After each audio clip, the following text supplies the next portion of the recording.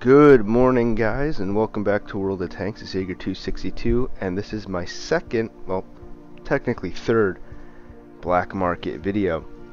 Now, before I get this video started, I just want to give a huge shout out and say thank you to all the people that watched last night's video and engaged in the comment section talking about the Death Star. A lot of you guys said you bought it, and now I feel very jealous because it doesn't look like the Waffenträger E100 will make it and so now I feel like I missed a huge opportunity, but thank you so much for still getting to the comments and sort of discussing the event with me and engaging. Really appreciate that. And thank you to everybody else who watched the video. It's not my most popular video on my channel. So I really appreciate all that support. And because of that, I decided I was going to make more black market videos. Now, going forward, I'm not going to do a video for each tank that they cover. It's just I won't be here to make a video tonight on the vehicles that they're selling. So what I'm going to do is just cover the morning vehicle today and then each day I'll probably put up a video at 8 p.m. discussing both vehicles that came out that day.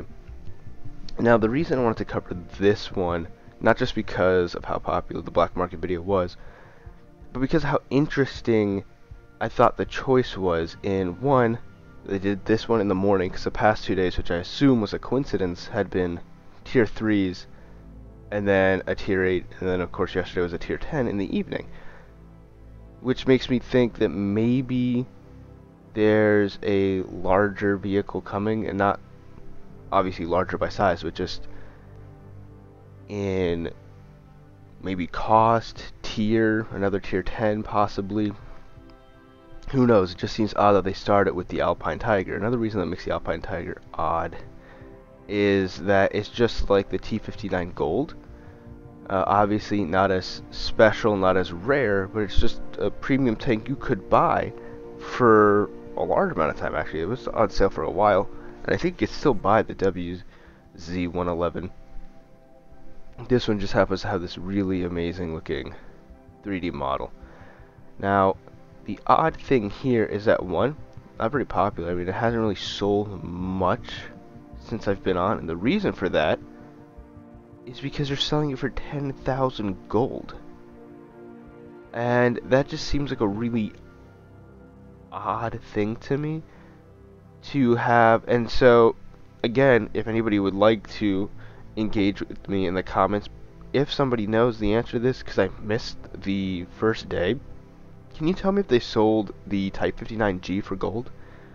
If they didn't, this will be the first one in the black market list sold for gold, which makes me worried. One, that again, I missed some pretty good deals earlier in the event, and two, that this is kind of how they're going to profit off of this.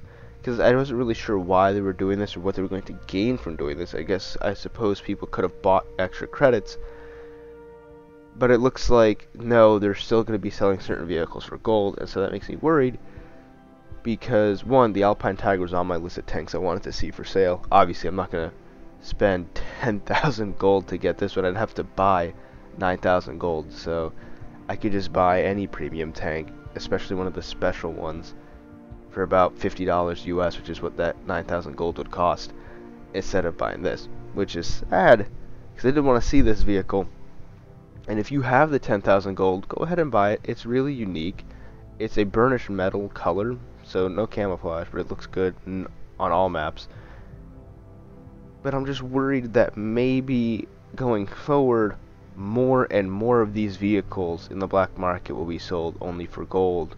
Which I can understand why Wargaming would do that. I'm not saying that it's wrong for them to do that. They need to make a profit somewhere. It's just that I feel like with the launch of WoT Premium, uh, with all the special D-Day sales and the Berlin sales, that this event we wouldn't see as many gold vehicles. So I don't know yet how that's going to play out. Hopefully there'll only be a handful of these and the rest will still be for credits. But I will cover those as I go on with the black market videos. I will probably do a video either way later tonight after the event and cover the vehicle just to keep the pace going. If not, I will just chuck in the vehicle that they do later into tomorrow's video. But that's pretty much it for today. Now, while I was discussing with you guys, one of the viewers turned me on to a list that was leaked on Reddit, and he had the video. I I haven't found yet, but he gave me the name in a comment section of yesterday's video, so I'll have to put that back up, and maybe I'll leave it in the description of this video. But I found before he had told me that I looked, and I found another list on the South American servers Reddit, or World of Tanks Reddit, with what appeared to be the full list by date.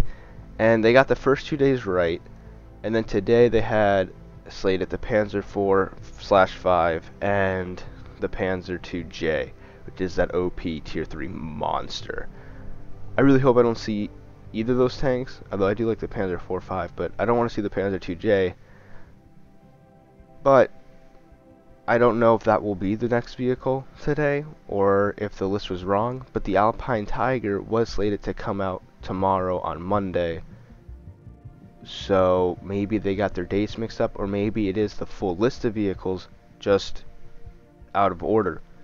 So I will keep following that. I will go back and look at the video that you guys left in the comments for me and see what that Reddit said and hopefully the list will either match up or they'll be correct because I would really love to get a heads up.